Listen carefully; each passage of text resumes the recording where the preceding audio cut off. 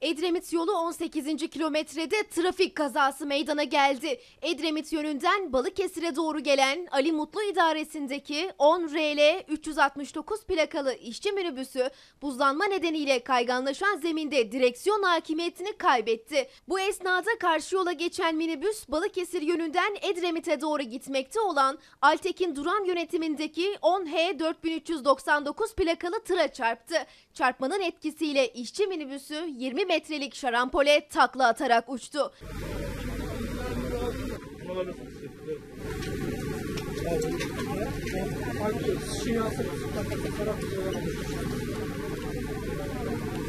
İbrahim Karaoğlu, Mehmet Emin Avcı ve Mustafa İnce isimli işçiler olay yerinde feci şekilde can verdi. Minibüs sürücüsü Ali Mutlu, işçi Bayram Şengül ile tır sürücüsü Altekin Duran yaralandı. Yaralılar 112 acil ambulanslarıyla devlet hastanesine götürüldü. Görgü tanıkları kaza yapan minibüsün ön lastiğinin patladığını iddia etti.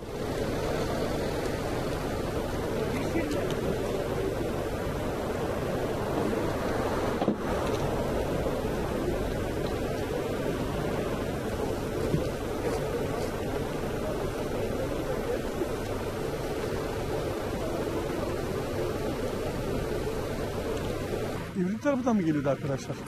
Evet, evet, bilmiyorum. Gökçeaz'dan geliyor. Kaçıyordu. Siz ayrı arabada mısınız? Hayır değil. Biz ikiye bölündük.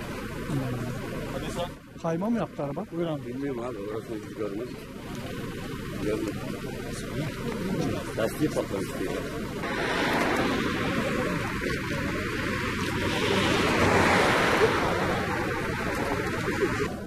Buradan gel buradan.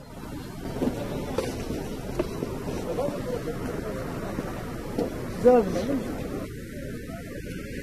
Ya bu şeyi aramayı savcı ve kimlikleri kimlik yoksa diyorsun şeyi patronu kimse diyor kimlik patronu diyor.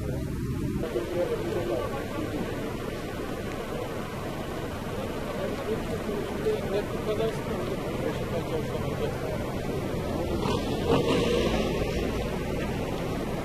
लोगों के लिए